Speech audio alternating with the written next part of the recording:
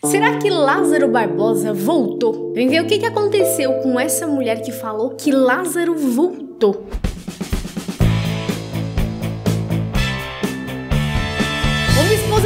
A PM para relatar que o Lázaro Barbosa está de volta. É isso mesmo que vocês ouviram. A mulher falou que Lázaro está no seu marido. No depoimento gravado em um vídeo, a mulher disse que o seu marido falou que era o Lázaro. O próprio, o homem disse que ia ser o Lázaro e ia pegar todo mundo. De acordo com a mulher, o marido falou isso para ela. Eu é que ser o Lázaro. Ele disse depois de falar exatamente essas palavras e a mulher ficou com muito medo. Além de ter falado essas coisas, o homem ainda atacou ela. Ela estava na rua no momento em que tudo aconteceu. Ainda ameaçou a própria esposa, dizendo que ia tirar sua vida. Segundo a reportagem, o homem se chama Roberto, da cidade de Bacabal, no Maranhão, e vai pegar todo mundo. Uma equipe de reportagem acompanhou o momento da chegada do homem para fazer exame de corpo de delito e em seguida ele seria encaminhado para o presídio. O investigador Pedro abre a viatura da PM para retirar o homem e a equipe tenta ali falar com o Roberto, a respeito da situação toda. O repórter então aborda o sujeito e pergunta se ele quer falar alguma coisa sobre a história dele ser o Lázaro. O homem desvia das perguntas, o repórter insiste em perguntar o que que houve, que história era aquela de ele ser o Lázaro, de ele atacar a mulher, enfim, tudo aquele rolê ali. Mas Roberto se esquiva e não responde nada e continua andando e entrando no hospital para realizar ali os exames. Agora fica o questionamento, né? Os atos de Lázaro estão será que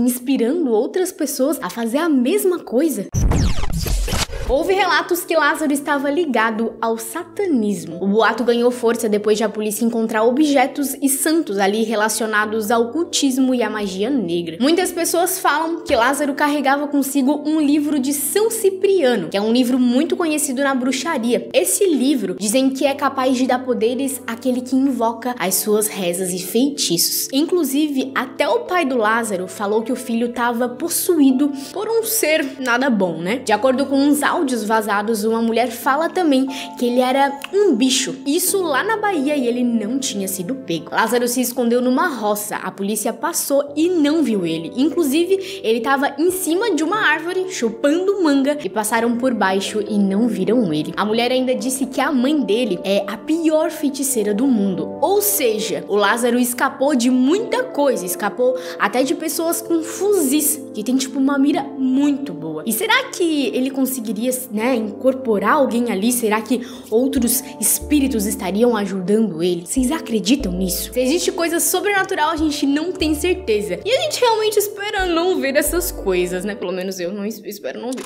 Quando a internet começou a falar sobre esse assunto, começou ali também a circular alguns vídeos envolvendo Lázaro sobre ele ser um ser sobrenatural. Como o vídeo dele em cima do telhado de uma casa, numa chácara onde ele supostamente teria ido. Tipo uma silhueta que diziam ser ele. Em outro vídeo mostra o que parece ser uma sombra que passa em frente aos policiais sem ser percebido, ou até mesmo vista por eles. Reparem que depois de passar pelos PMs, a sombra fica ali à espreita, observando os movimentos dos policiais. Será que o Lázaro, antes de ser capturado, tinha será ajuda de forças ocultas, forças malignas que ajudaram ele a escapar por tanto tempo, né? Ele era só um bom conhecedor da mata e sabia muito bem se esconder de tudo e de todos. Fica aí o questionamento, né? Quero saber de vocês nos comentários. Me digam aí, o que, que vocês acham sobre isso? Vocês acham que tem umas forças ocultas aí ou não? É tudo história. Galera, então esse foi o vídeo de hoje. Até a próxima. Tchau.